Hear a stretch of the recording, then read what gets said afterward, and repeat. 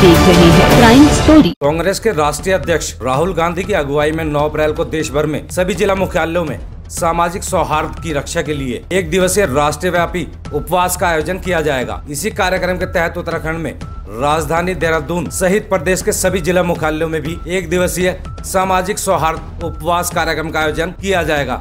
मामले की जानकारी देते हुए कांग्रेस प्रदेश अध्यक्ष प्रीतम सिंह ने कहा कि राहुल गांधी की अगुवाई में एक दिवसीय उपवास किया जाएगा। वहीं अध्यक्ष ने कहा कि मोदी सरकार के आने के बाद देश का सामाजिक ताना बाना खराब हो गया है, जिसके बाद कांग्रेस को आगे आना पड़ रहा है। नौ को पूरे देश के अंदर राहुल जी की अगुवाई में देश का जो सामाजिक सद्भाव है, ये बना रहे।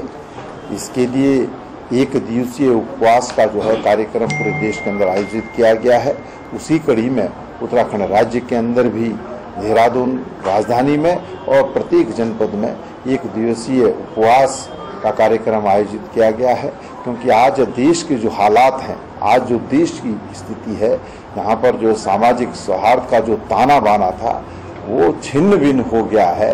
केंद्र में बैठी हुई सरकार इस ओर कोई ध्यान नहीं दे रही है, बल्कि उस ताने बाने को और ध्वस्त करने का काम कर रही है तो ऐसी विकट परिस्थितियों में कांग्रेस के लोगों का दायित्व बनता है कि वो इस देश के सामाजिक सौहार्द को बनाए रखने के लिए आगे आए।